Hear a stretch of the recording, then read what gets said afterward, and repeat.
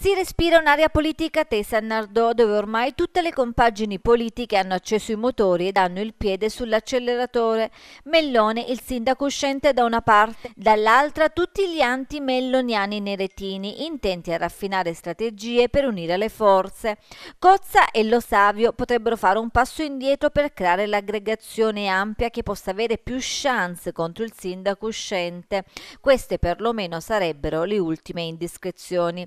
Dal dal canto suo Pippi Mellone va avanti come un treno, avendo in pancia l'appoggio pieno della squadra di Michele Emiliano, oltre che di esponenti leghisti e del centrodestra, che significa anche una parte dei Dem sul territorio. Tra i candidati che sfidano il primo cittadino uscente c'è Falangone, ex vice sindaco di Risi, oggi sostenuto dal Movimento 5 Stelle, PD e Forze Italia Viva, che però non ha ancora ufficializzato l'adesione alla coalizione di centrosinistra.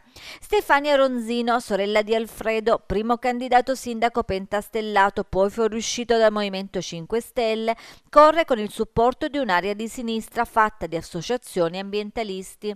Resta poi in campo Mino Frasca, sostenuto da Civiche e dalla responsabile neretina di Forza Italia Paola Mita.